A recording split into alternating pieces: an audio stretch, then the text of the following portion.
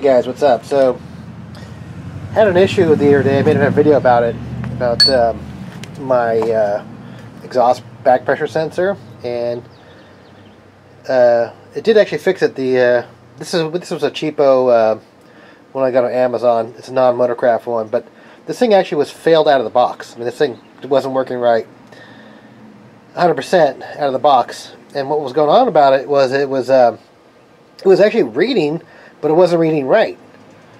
So it was throwing everything off a little bit. You know, it was throwing my turbo, uh, the VGT duty cycle, like way out of range. So I try to describe that, but it was besides it was giving me like the turbo fart, turbo intake backfire. It was also making my idle surge. That's what this video is about. You know, it, my idle would surge.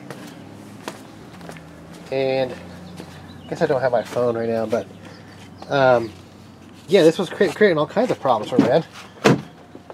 Um, get in there.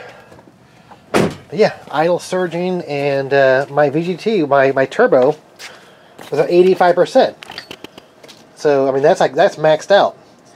So, a good thing to do is, I mean, I, I, I use torque a lot in my, uh, my videos to uh, troubleshoot these problems, and uh, probably a good idea would be to actually mark down the values of all your engine components when your actual engine's working fine. That way, when it's not working fine, you'll actually know there's something wrong. And uh, I knew there was something wrong because my I knew my VGT was shouldn't have been at 85%. So, uh, get this going here.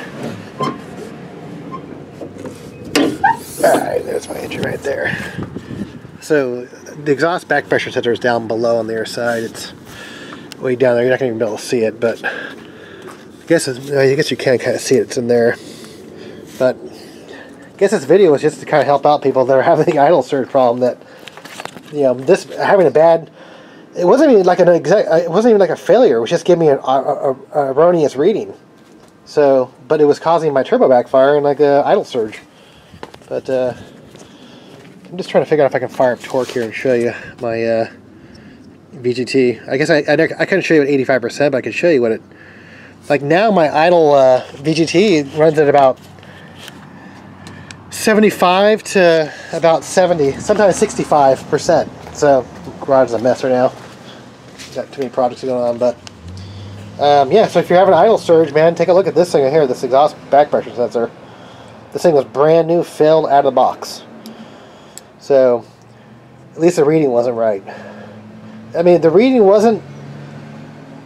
It was weird. I mean, like I said, it, it was reading, it just wasn't reading right, so it was hard to troubleshoot. So, alright, guys, cool.